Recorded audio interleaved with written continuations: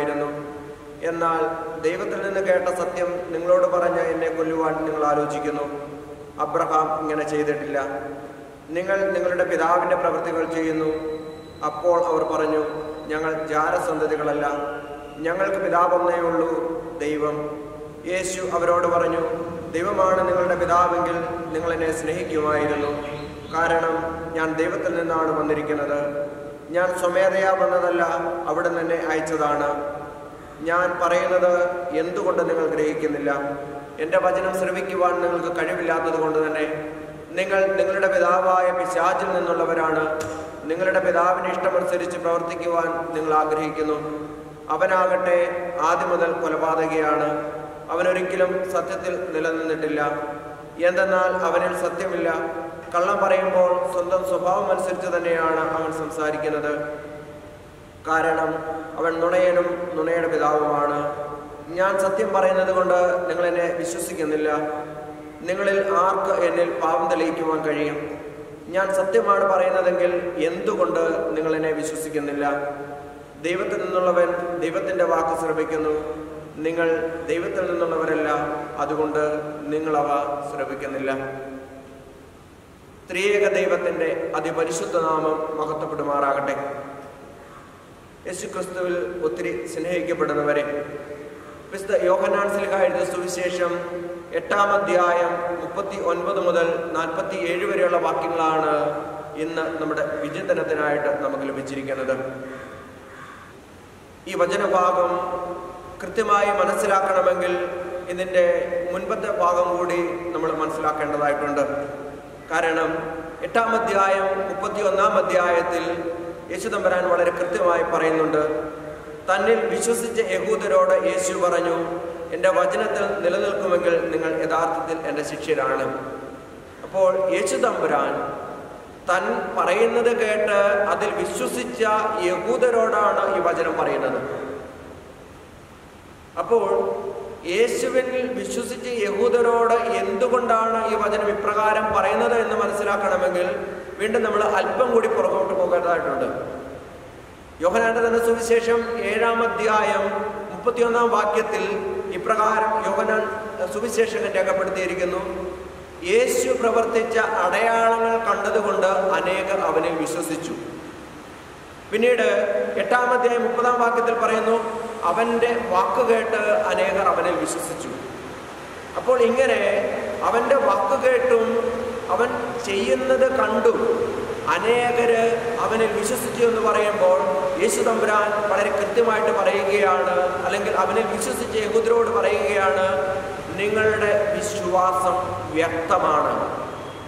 നിങ്ങളുടെ വിശ്വാസം വ്യക്തമാണെന്ന് പറയുവാനുള്ള കാരണം എന്താണെന്ന് ചോദിച്ചു കഴിഞ്ഞാൽ ഈ വിശ്വാസത്തിന്റെ മാറ്റടക്കുന്നത് പ്രവൃത്തിയിലൂടെയാണ്. പക്ഷേ നിങ്ങളിത് കേൾക്കുക മാത്രമാണ് ചെയ്യുന്നത്. അതാണ് ഈ യഹൂദരുടെ വിശ്വാസത്തിന്റെ പ്രശ്നമെന്ന് പറയുന്നത്. ആഴമില്ലാത്തതായ വിശ്വാസം പാറമേൽ ഉറപ്പിക്കപ്പെട്ടതല്ലാത്തതായ വിശ്വാസമാണ് യഹൂദർ പുലർത്തിയിരുന്നത്. അത് അവർക്ക് മനസ്സിലാക്കി കൊടുക്കുകയാണ് യേശുദമ്പരാൻ ചെയ്യുന്നത്. പ്രിയമുള്ളവരെ എന്നിട്ട് യേശുദമ്പരാൻ വളരെ കൃത്യമായിട്ട് അവരോട് പറയുകയാണ് എന്താണ് ഈ വിശ്വാസത്തിന്റെ പ്രശ്നം എന്ന് പറയുന്നത്? അവർ വിശ്വസിക്കുന്നു എന്ന് പറയുന്നുവെങ്കിലും അവർ ആഴമല്ലാത്തതായ വിശ്വാസമായതുകൊണ്ട് അവർ സാത്താന്റെ പ്രവൃത്തിയിലേക്ക് കടന്നു പോകുന്നു. അത് യേശുദമ്പരാൻ വളരെ കൃത്യമായിട്ട് മനസ്സിലാക്കി തരുന്നുണ്ട്. അവർ പറയ യേശുദമ്പരാൻ പറയുകയാണ് നിങ്ങൾ വിശാജിന്റെ അടിമയാണ് എന്ന്. പക്ഷെ അവർക്ക് ഒരിക്കലും അംഗീകരിക്കുവാൻ കഴിയുന്നില്ല. അവർ പറയുന്നു ഞങ്ങൾക്ക് പിതാവായ ദൈവമുണ്ട്. ഒരു ദൈവം മാത്രമേ ഉള്ളൂ. ഞങ്ങൾ അബ്രഹാത്തിന്റെ സന്തതികളാണ്. യേശു നമ്പുരാൻ ഇത് കൃത്യമായി അംഗീകരിക്കുന്നു. അതിനുശേഷം പറയുന്നു പക്ഷെ നിങ്ങൾ അടിമകളാണ്. നിങ്ങൾ പിശാചിന് അടിമപ്പെട്ടാണ് ജീവിക്കുന്നത് എന്ന്. കാരണം ഈ പിശാചിന്റെ പ്രവൃത്തികൾ എന്തൊക്കെയാണെന്ന് ചോദിച്ചു കഴിഞ്ഞാൽ അവൻ കൊലപാതകയാണ് അവൻ നുണയനാണ് അവൻ കള്ളം പറയുന്നവനാണ്. ഈ പ്രവൃത്തികളാണ് നിങ്ങൾ ചെയ്തുകൊണ്ടിരിക്കുന്നത് എന്ന് യേശു തമ്പുരാൻ അവരോട് പറയുകയാണ്. പ്രിയമുള്ളവരെ തിരുവചനത്തിലേക്ക് കടന്നു വരുമ്പോൾ നമുക്ക് കൃത്യമായി മനസ്സിലാക്കുന്ന കാര്യമുണ്ട്. നല്ലത് പ്രവർത്തിച്ചില്ലെങ്കിൽ പാപം വാതുക്കൾ തന്നെ പതിയിരിക്കുന്നുവെന്ന് അറിഞ്ഞുകൊള്ളുക. അത് നിന്നിൽ താല്പര്യം വെച്ചിരിക്കുന്നു. നീ അതിനെ കീഴ്പ്പെടുത്തണമെന്ന്. ഉൽപ്പത്തിയുടെ പുസ്തകം നാലാം അധ്യായം ഏഴാം വാക്യത്തിൽ കായനോട് ദൈവം പറയുന്നുണ്ട് നല്ലത് പ്രവർത്തിച്ചില്ലെങ്കിൽ പാവം വാതുക്കൾ തന്നെ പതിയിരിപ്പുണ്ട്. അത് നിന്നിൽ താല്പര്യം വെച്ചിരിക്കുന്നു. നീ അതിനെ കീഴ്പ്പെടുത്തണം. പ്രിയമുള്ളവരെ നമ്മുടെ ജീവിതത്തിന്റെ ഓരോ നിമിഷവും നമ്മളുടെ ജീവിതത്തിൽ പ്രലോഭിപ്പിച്ചുകൊണ്ട് നമ്മളെ തെറ്റിലേക്ക് വീഴ്ത്തുവാൻ ദുഷ്ടശക്തി നമ്മുടെ പിന്നാലെയുണ്ട് എന്ന മുന്നറിയിപ്പ് തിരുവചനത്തിന്റെ ആരംഭം മുതൽ തന്നെ യേശു നമ്പരാൻ നൽകുന്നുണ്ട്.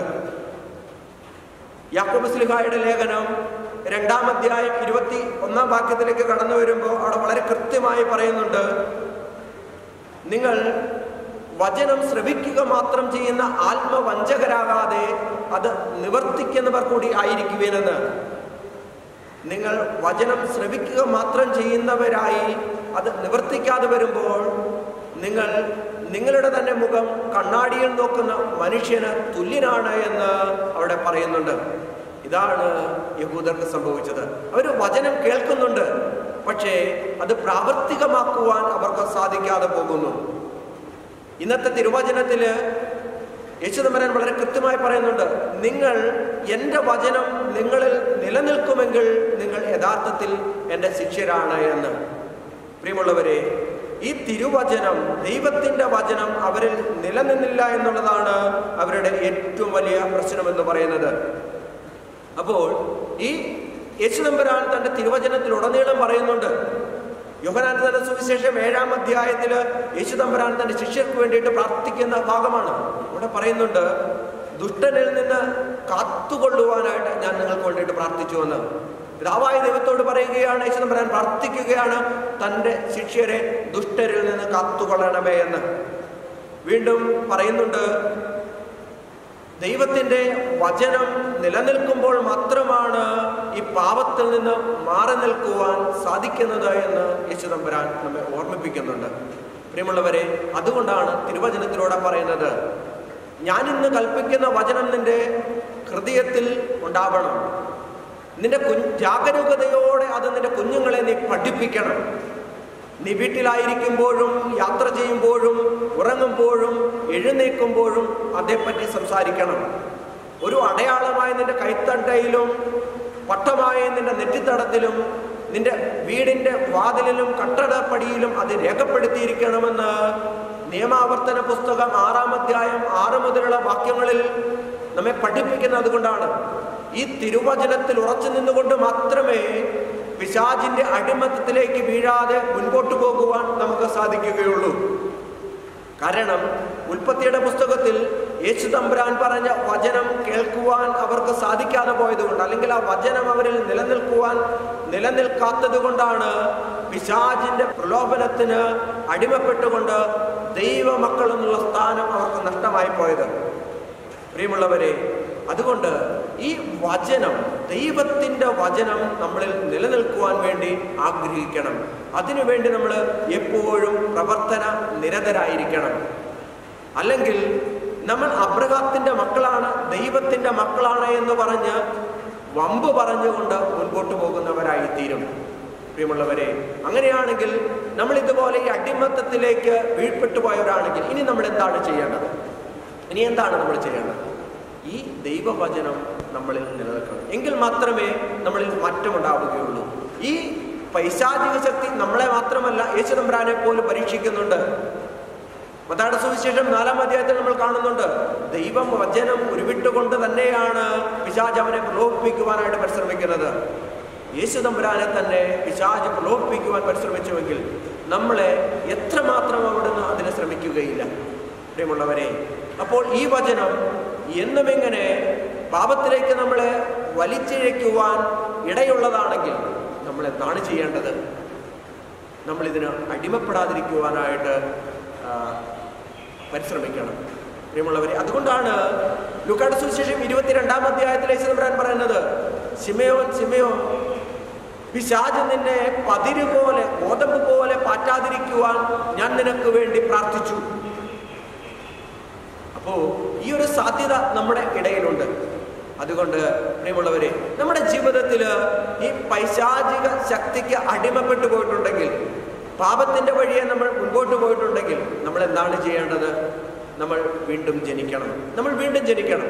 ഈ വീണ്ടും ജനിക്കേണ്ടത് എങ്ങനെയാണെന്ന് ചോദിച്ചു കഴിഞ്ഞാൽ അത് ദൈവ വചനത്തിൽ നിന്നാണ്. നിക്കമദോസിനോട് പറയുന്നുണ്ട് വീണ്ടും ജനിക്കുന്നില്ലെങ്കിൽ നീ സ്വർഗരാജ്യത്തിൽ പ്രവേശിക്കുകയില്ല എന്ന്. പ്രിയമുള്ളവരെ വീണ്ടും ജനനം സംഭവിക്കുന്നത് അത് നശ്വരമായ ബീജത്തിൽ നിന്നല്ല. സജീവവും സനാതനവുമായ ദൈവവചനത്തിൽ നിന്നാണ് ഒരുവൻ വീണ്ടും ജനിക്കുന്നത് എന്ന് പത്രോസ്ലിഹായുടെ ഒന്നാം ലേഖനം ഒന്നാം അധ്യായം ഇരുപത്തിമൂന്നാം വാക്യത്തിൽ നമ്മോട് പറയുന്നുണ്ട്. അതുകൊണ്ട് നമ്മൾ ദൈവത്തിന്റെ മക്കളാണ് അല്ലെങ്കിൽ ക്രിസ്ത്യാനികളാണ് എന്ന് വമ്പ് പറയുന്നവരായി തീരാതെ ദൈവത്തിന്റെ വചനം അക്ഷരം പ്രതി അനുസരിച്ചുകൊണ്ട് ദൈവവചനത്തോട് ചേർന്ന് നിന്നുകൊണ്ട് സത്യത്തിന്റെ മക്കളായി സത്യത്താൽ സ്വതന്ത്രരാക്കപ്പെട്ടവരായി മുൻപോട്ട് പോകുവാൻ നമുക്ക് പരിശ്രമിക്കാം. അതിന് ദൈവ വചനത്തിലൂടെയുള്ള ഒരു പുനർജനനത്തിന് ഒരു വീണ്ടും ജനനത്തിന് നമ്മുടെ ഓരോരുത്തരുടെയും ജീവിതത്തിൽ ഇടയാവട്ടെ അതുകൊണ്ട് ഈ തിരുവചനത്തെ നമുക്ക് മുറുകെ പിടിക്കാം. ദൈവത്തിന്റെ വചനം മുറുകെ പിടിച്ചുകൊണ്ട് എപ്പോഴും നമുക്ക് മുമ്പോട്ട് പോകുവാൻ പരിശ്രമിക്കാം. അതിന് സർവേശ്വരൻ നമ്മെ സഹായിക്കട്ടെ. പിതാവിന്റെയും പുത്രന്റെയും ജീവനുള്ള പരിശുദ്ധ തിരുനാമത്തിൽ ആമീൻ.